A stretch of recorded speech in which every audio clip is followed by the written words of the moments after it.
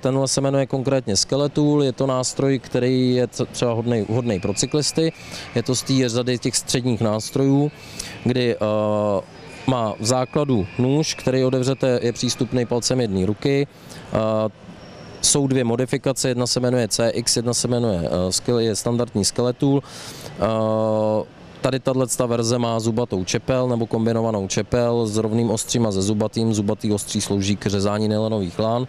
Čepele jsou osazený pojistkou proti nechtěnému zavření. Když ten nůž zase opět rozložím, obsahuje kleště, což cyklista určitě ocení, třeba na vytažení bovdenu. Specialitou všech Lettermanů je, že ty kleště jsou stenčený, takže dosáhnou do úzkých prostor. A další záležitost, která u tohoto eh, nástroje je, je vlastně šroubovák s vyměnitelnými byty, kdy v základu je tam, eh, jsou dva křížové byty a eh, plus je tady vlastně ještě v těle toho zásobník na náhradní byty plochý. K tomuhle noži je výborný to, že se dodává teda s pouzdrem a dá se k němu přidat ještě náhradní sada 24 bitů, kde jsou obsaženy imbusy, hvězdičkový byty a další typy křížových bytů plus plochejch.